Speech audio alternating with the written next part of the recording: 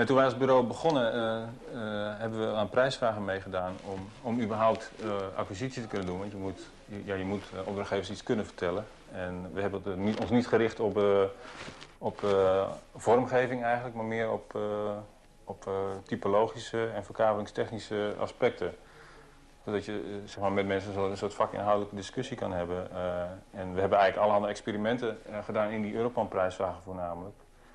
En de eerste prijsvraag, dat was eigenlijk die uh, prijsvraag Europan 2 in Gent.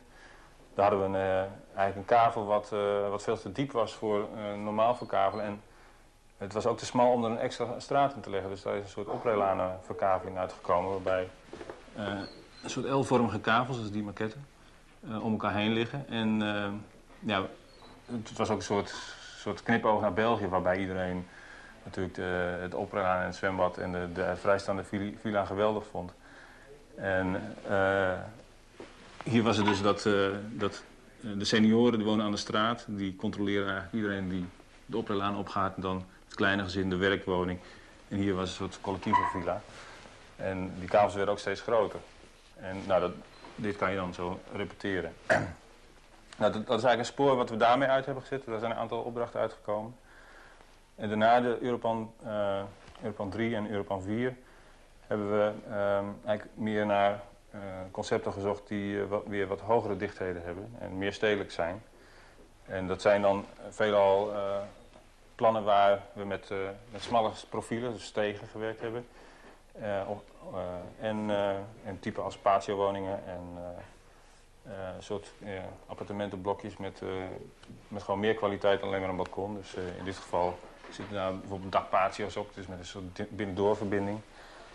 En die, hebben, die plannen die hebben eigenlijk uh, uh, gezorgd dat we bijvoorbeeld de Bonnier Sporenburg een opdracht kregen. En, dus die hebben een soort heel ander spoor uitgezet. En uh, het grappige is eigenlijk dat, dat deze plannen, die, zeg maar, daar hebben we nu in Amsterdam allerhande dingen lopen. Die, die zijn daar de oorzaak van geweest. En die uh, Europan-prijsvraag, die uh, ja, hebben we dus in Zuid-Laren opdracht gekregen en in, in, de buitenwijk van Groningen. Waar een, een kavel wat een onhandige diepte was, dat liep taps toe. Dus daar hebben we een soort systeem voor bedacht. En, en uiteindelijk, deze plannen hebben trouwens ook in, in Groningen nu gezorgd dat we op het Siboga-terrein mogen bouwen. We hebben dus een plan gemaakt wat weer uh, waar heel veel ideeën zeg maar, die in die verschillende prijsvragen zitten uh, weer in verwerkt zijn. Een van de aanleidingen in het programma was een soort uh, dat zeg maar de, de ouderenzorg gewoon financieel onder druk staat. Dus dat mensen misschien geneigd zijn om het weer meer in hun eigen familie op te lossen.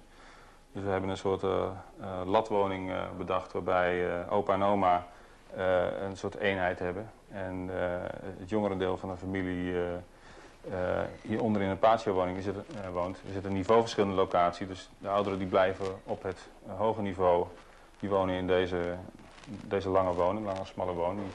Zich heel erg richt op het water, op het uitzicht. En het jonge deel daalt af. die woont op, echt op het waterniveau. Die daalt af in een patio-woning die eronder georganiseerd zit. En er zit eigenlijk een soort stiekem binnendoorverbinding die het mogelijk maakt om, om het ook als één huis te gebruiken. Of, of ja, afhankelijk van hoe de relaties onderling zijn. En de Minds hebben dus eigenlijk hetzelfde principe. Uh, hebben, dat is Europan 4. Hebben uh, datzelfde principe onderzocht op uh, hoe je dat met een hogere dichtheid nog kan maken en meer gestapelde types. Dat is ook een iets stedelijke locatie aan de Rijn, dus daar, kan, daar, kan, daar moet je ook gewoon meer hoogte maken dan... de bos is een veel, was een veel ontspannende situatie, zeg maar, daar moet je, moet je eigenlijk niet boven de drie lagen komen. Want dan, dan word je gewoon te dominant over, die, over dat park. Dit zijn zeg maar gestapelde maisonnettes die... Uh, maar de, overeenkomst is weer dat je uh, nu via een soort collectieve hof binnenkomt.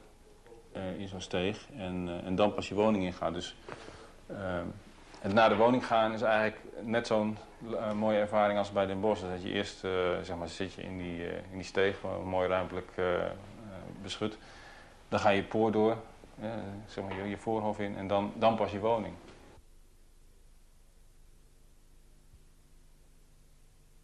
We zitten hier nu uh, bijna een jaar. Het was een oude aardappelschuur, dus uh, perfect geïsoleerd. Alleen we moesten daglicht uh, en verwarming erin brengen. Dus We hebben deze vloer erin laten leggen met vloerverwarming. En die kleine raampjes erin gemaakt, plus hier. En, en een aantal puien erin gezet ter plekke van, van die grote openslaande deuren. Die zijn toegevoegd.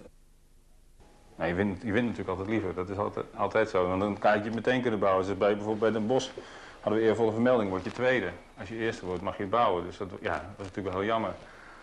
Maar die ideeën liggen er en nu bij Siboga, waar je een autovrije wijk hebt, hadden we zoiets van... Uh, ja, we wilden gewoon nog een keer zo'n soort plan bouwen. Dus uh, toen hebben we eigenlijk dat thema uh, van zo'n compact woonmilieu met, met veel grondgebonden woningen en patio's en dakterrassen hebben we eigenlijk weer van stal gehaald. En in een soort nieuwe vorm gegoten, op die plek gemaakt. En, uh, dus hopen we dat het op die manier uh, zeg maar, aan kunnen tonen dat het een fantastische manier van wonen is.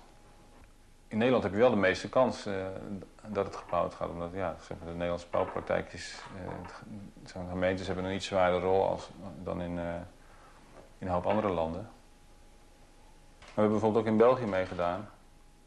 En in België, ook de winnaar, die heeft ook niet kunnen bouwen. Dus uh, er is nog nooit een Europlan, Europlan gerealiseerd. Dus uh, als je wil bouwen, dan moet je gewoon uh, in Duitsland of in, in Nederland meedoen. Want bijna alle andere landen, of misschien in Frankrijk, maar er wordt er heel weinig gebouwd wat, wat wel de bedoeling is van Europlan.